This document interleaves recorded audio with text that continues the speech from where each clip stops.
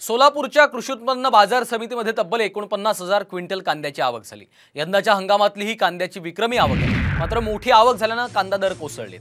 व्यापाऱ्यांनीच कांद्याचे भाव पाडल्याचा आरोप शेतकऱ्यांनी केलाय.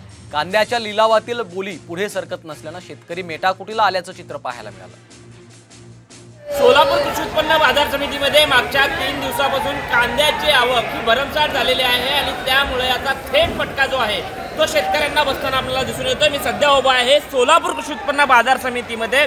या ठिकाणी आपण बघू शकताय की कांद्याची जवळपास एकोणपन्नास क्विंटल इतकी आवक ही मागच्या तीन दिवसामध्ये झालेली आहे आणि त्यामुळं शेतकऱ्यांनी जो आहे तो मोठ्या प्रमाणामध्ये या ठिकाणी कांदा आणल्याचं आपल्याला पाहायला मिळत आहे आणि एकूणच या सर्व घट घडामोडींमुळे शेतकऱ्यांना हा जो आहे तो थेट फटका बट बसताना आपल्याला पाहायला मिळतोय. आपल्यासोबत काही शेतकरी आहेत आपण त्यांच्याकडनं जाणून घेऊयात.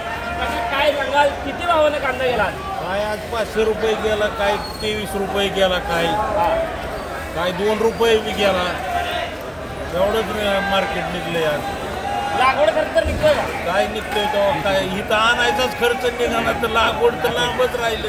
इथं आणायचाच खर्च निघाला कुठून आलात कर्जत नगर जिल्हा. आता काय हातात काय पडले आता काय येतंय? हातात बारदाना येतोय का नाही कोणाच तो हा. काय असं मार्केट म्हणल्यावर काय परवडतंय शेतकऱ्याला? पण अं, सोलापूर उत्पन्न बाजार समिती सगळ्यात चांगला भाव देते म्हणून त्याची खात्री आहे. हा त्याच्यामुळं इकडं आलो तर इकडं आलं तर कापूनच टाकलं पार हा. नक्कीच आपण जर बघितलं तर शेवटी शेतकऱ्याच्या हातात बारदाना घेऊन जाण्याइतपत तरी पैसा मिळतोय का नाही याची शंका सध्या शेतकऱ्याला लागून राहिली आहे. Vishwabhushan Limaye Saam TV news Solapur.